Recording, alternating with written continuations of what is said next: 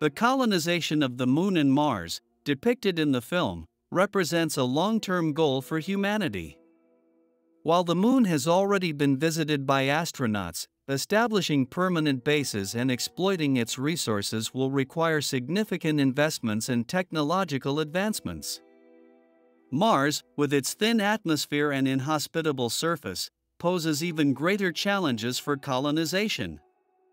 However, the presence of frozen water on Mars and the possibility of producing oxygen from its atmosphere make this planet an attractive target for future exploration and colonization.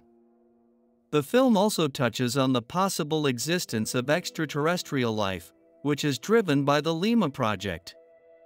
Although the search for extraterrestrial life remains one of the greatest unknowns in science, projects such as SETI, Search for Extraterrestrial Intelligence, continue to search for radio signals from alien civilizations.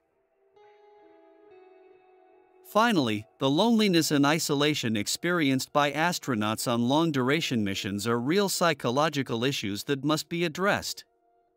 Confinement in close quarters, separation from family and friends, and exposure to hostile environments can all take their toll on astronauts' mental health. In Ad Astra, Roy McBride battles his own inner demons and emotional disconnection, mirroring the psychological challenges astronauts face in real life. Careful astronaut selection, psychological training, and ongoing support are essential to ensuring the mental well being of space explorers. In short, Ad Astra combines science fiction elements with real scientific concepts, inviting reflection on the challenges and possibilities of space exploration the search for extraterrestrial life, and humanity's future in the cosmos.